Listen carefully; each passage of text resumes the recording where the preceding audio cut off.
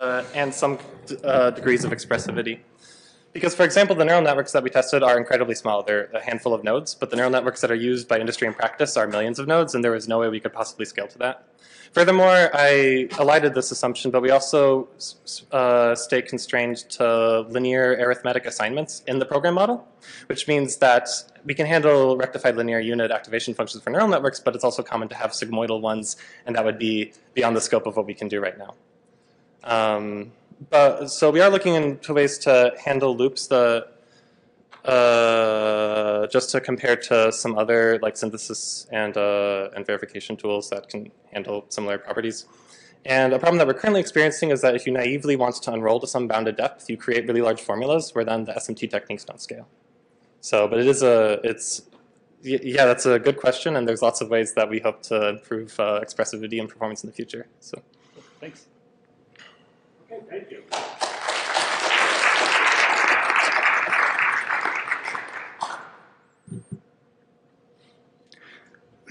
Uh, good afternoon, and I'm going to talk about uh, reasoning on uh, divergent computations with coaxioms, and this is a joint work with uh, Francesco Dagnino and uh, Elena Zucca from the University of Genoa, Italy. Okay, so let's, uh, let me have a brief outline of the talk.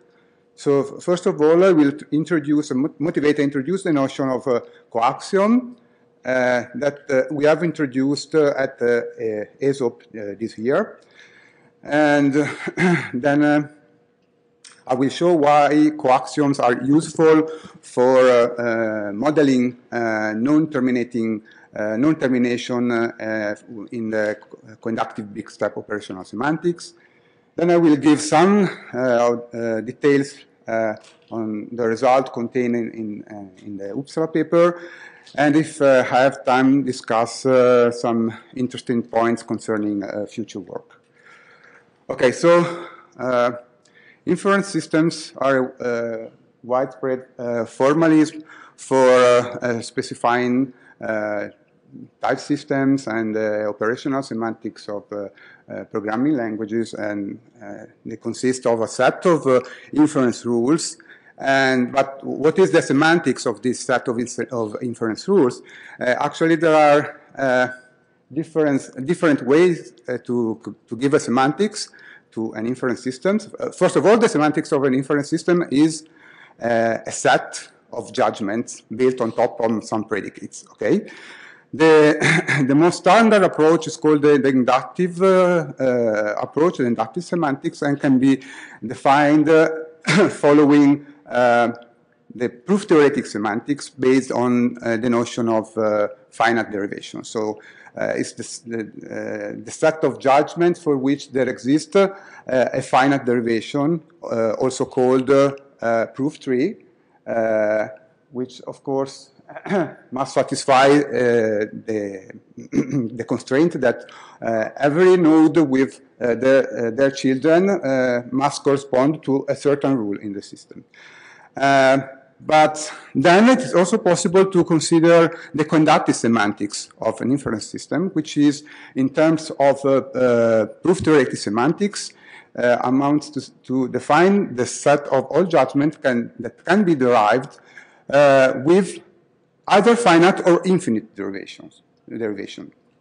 And uh, another interesting thing is that uh, there are two equivalent, uh, there is another uh, equivalent way for defining both the inductive and the coinductive uh, semantics uh, by following the fixed point approach. So for the inductive semantics, this means considering the set of judgment, which is the least fixed point of the one-step inference, inference operator that, that is defined by the inference rules. And for the coinductive uh, semantics, of course, is the greatest fixed, point.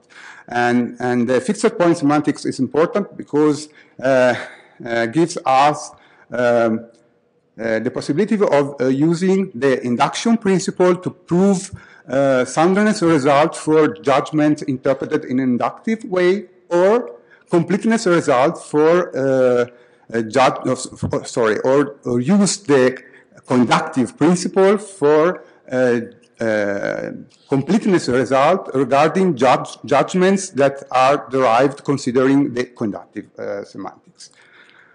Okay, so now uh, I'm going to show um, two examples where uh, we uh, need that there are cases where we want uh, the inductive uh, semantics, we need the inductive semantics, but other cases where the, the intended semantics uh, is the coinductive one. So let, let us consider this very simple judgment uh, built on top of this member predicate that checks whether uh, a number is an element of a, a, list, and a list can mm, a list of integers, and but the list can be also uh, infinite. Okay, so these are the uh, obvious rules. Okay, and if we consider the inductive semantics, then we discover that this is the, the right semantics, and for instance, we can easily prove that 2 is, is a member of both this finite list and this uh, infinite alternating list. Okay, and and for, for, in this case, in this case, uh, we just need uh, finite derivations because to show a witness, we just need uh, a finite number of steps. Okay. And what it is interesting, if we turn to consider the coinductive interpretation uh, of this uh, example, then we allow also infinite derivations, then of course uh, we, we, uh, we derive too many judgments that we don't want to be valid. And, and actually we are able to prove that any uh, element, any number belongs to an infinite list. So this is, uh, this is not the intended semantics. But now let us consider these other predicates and the corresponding judgment, okay? Uh, checking whether an integer is uh, greater or equal than all elements in a list, and again, the list can be either finite or inf infinite. Okay, in this case, the inductive semantics does not work because we are not able to provide a, a finite derivation uh, to prove that uh, number two is greater or equal to all elements of this uh, infinite alternating list. Okay, so so we need to switch to the coinductive semantics, and with the coinductive semantics, we are able uh, to prove that uh, two is greater or equal than all elements, both in this finite uh, list, and for, for that we have, uh, of course, a finite derivation, and for this infinite list, we uh, construct this infinite uh, derivation. So, so far so good, but, uh, but the, the, important thing is that uh, the, the, semantics of an inference system uh, has this uh, all or nothing approach. So you have a, an inference system, all judgments that are defined in, in, in, that system follow either the inductive interpretation or the coinductive interpretation. Okay? So, so here now we have a problem because uh, for member uh, we have an, an, inductive, we need an inductive interpretation, and for the other uh, predicate we need a coinductive interpretation. This means that cannot coexist in the same inference system.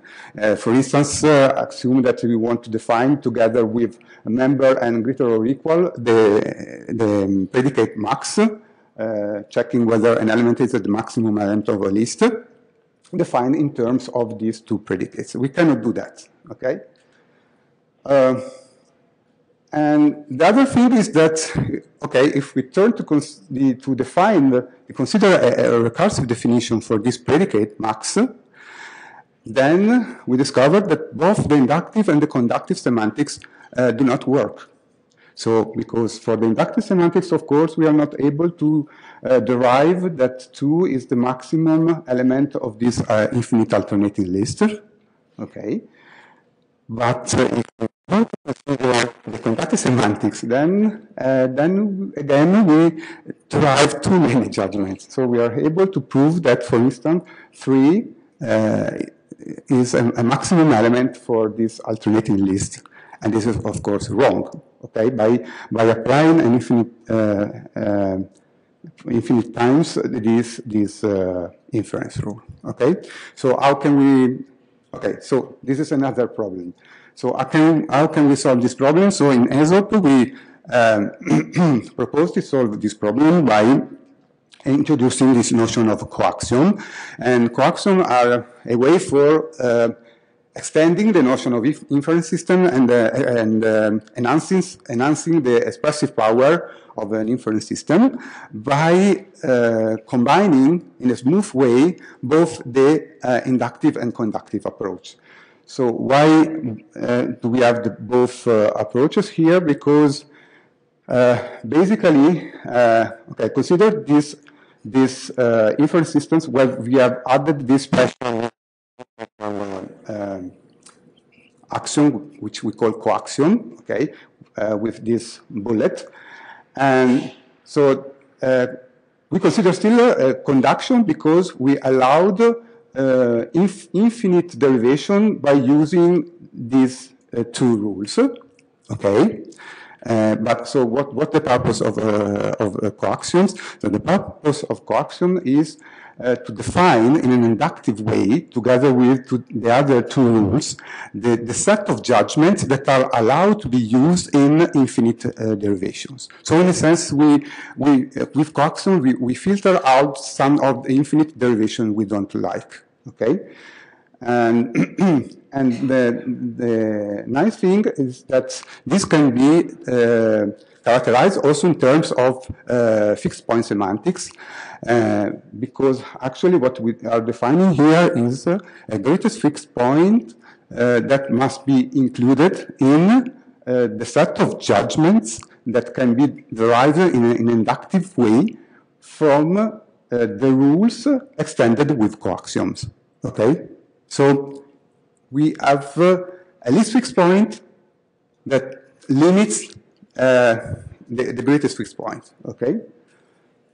so in this way, of course, we can still derive that 2 is the maximum element for our infinite list because uh, we can provide the usual infinite derivation. But then we have also to show that all, all judgments in uh, this uh, derivation can be derived in, uh, in, in, a finite way, so with finite derivation by using also the, the coaxiom. So basically the coaxiom uh, forces us to choose uh, elements that are member of the list. Okay, and and for this reason we cannot uh, derive any longer that three is a maximum element because of course we we uh, we we can use we could uh, derive an infinite derivation, but we also have to show that this infinite derivation that in, involves uh,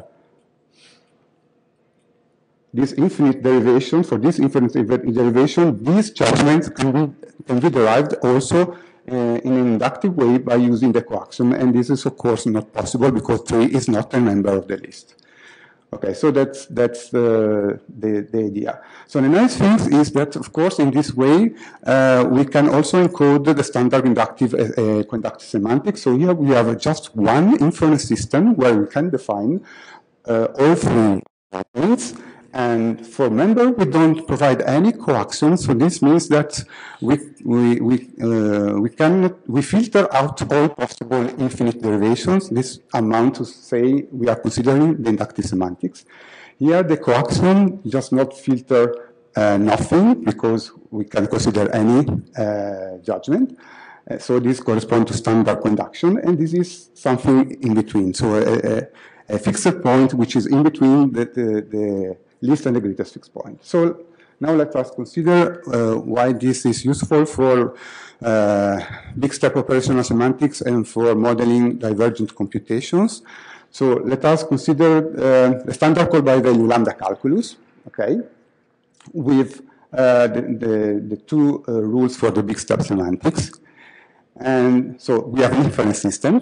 So what do we, so if we, we consider uh, we interpret this inference system in an inductive way, then of course we can, uh, and we consider, for instance, uh, this uh, divergent expression, we cannot derive any judgment for this expression because we, we would need to have an infinite derivation. So we cannot uh, non-termination. Uh, another possibility considered by several authors, me included, is to switch to the coinductive semantics. So now we are able to uh, construct an infinite derivation for this judgment, Okay, but the problem is that here we derive too many judgments because there is no uh, constraint on, on the value that can be returned. So we, are, we get this strange semantics, which is uh, fully non-deterministic for this non-terminating uh, expression. Another possible approach has been proposed by Cousot and is uh, it consists of on a stratified approach. So um, we have the usual evaluation judgment, which uh, is interpreted in, a, in an inductive way. Okay, uh, so this has to do with terminating expressions returning a certain value, usual way. And then uh, we introduce another uh, judgment for modeling non-terminating expressions. Okay, so here, for instance, this rules model non-termination for uh, fully deterministic by value left-to-right strategy. Okay. The point is that, of course, these models non-termination, so this judgment requires a coinductive uh, interpretation. So the, the, two systems have to be separated. And actually, and actually these judgments here are not re really premises, uh, but they are side conditions because we are, we are, not, we are not defining in, in, in the same uh, inference system, we cannot do that, uh, both judgments. So our solution is to merge all things together and to have coaxioms, okay? So what we do is we use just one judgment by adding this notion of the result and adding this special label representing a non-terminating uh, expression. Then we have that an expression can either return V a value. This means that it terminates and returns a value, or it, uh, if it returns this special uh, value infinity, means that uh, the, evaluation expression uh, does not terminate. Okay, and then uh, we don't have to duplicate and to have two separate systems. We don't have to duplicate uh, the rule for application. We have just one rule, and we need to add a coaxiom saying that okay for for infinite derivation what uh, we can only derive are judgments that have to do with non-termination. Okay, so so in this way uh, we are able to derive for this example the omega uh, only one judgment, one judgment saying that the big omega uh, diverges, but we cannot derive any other judgment saying that the omega returns some value because because the, uh, for, for the other values, we cannot construct, uh, construct a finite proof uh, tree because the only, the only coaxiom, the only axiom that can be used has to do with non-termination. Okay, so uh, let's, let's see what uh, is the technical content of the of, of the work.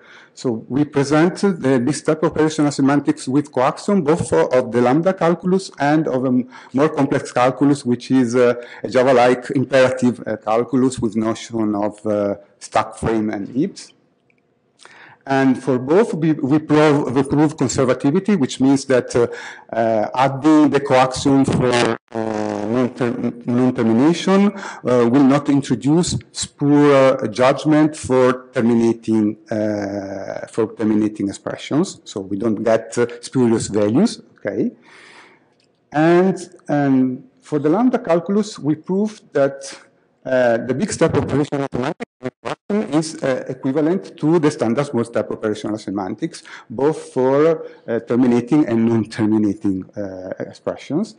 And then we, uh, we also proved type soundness, and type soundness uh, is proven this in, in this way. So if uh, E is well typed and we, E does not diverge, uh, sorry, does not uh, terminate with a value according to the big step semantics, then it, uh, it must it must not terminate, must diverge according to the big step operational semantics. And this is, is proved by bounded coinduction, on the rules directly, um, which is the generalization of the conducting principle uh, to our case uh, with coaxiom.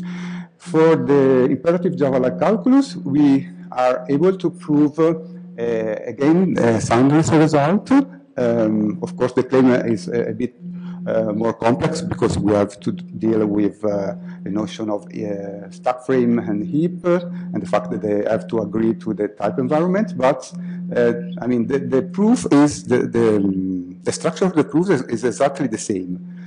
And uh, okay, so um, all proofs uh, can be found in, in the paper, but uh, proofs are uh, only manually checked. So we, what we would like as a further research is to try to mechanize these proofs.